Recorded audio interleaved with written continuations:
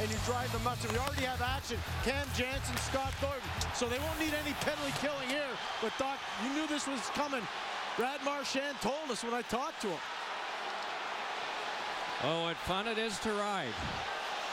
The job that nobody wants, but Thornton and Cam Janssen have done it for several seasons.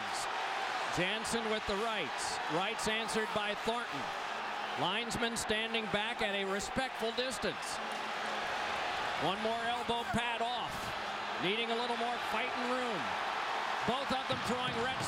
rights. Thornton tried with an uppercut there. They want to keep going. Thornton just asked him, want to keep going? Janssen's like, okay. He always asks, it seems, to go longer. Telling the linesman not to get in. That's Janssen we're talking about. More right crosses from Thornton. More rights. Janssen coming back. It is incredibly tiring what they're doing. And right now, at this point, all it takes is one shot because of the fatigue factor. That was the motion from Janssen for the linesman to stay out. A right cross there.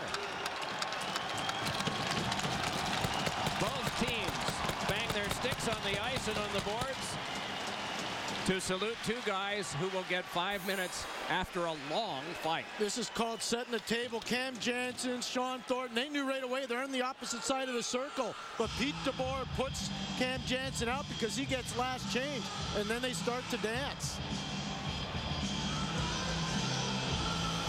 And so DeBoer joked, well, I guess that's it for your time on the power play. DeBoer could have said, I also won two world. Oh, there's a shot by Shawn Thornton that goes off Marty Brodeur and in to make it a lead by a fistful. I played defense, I got in a fight, and look, I just scored. Paille out to Thornton.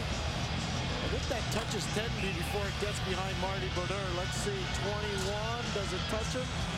It looks like it drops and changes direction, Doc, but Shawn Thornton will get credit for the goal. Just a valuable guy and an unbelievably popular Boston Bruin. So he has a fight and he has a goal.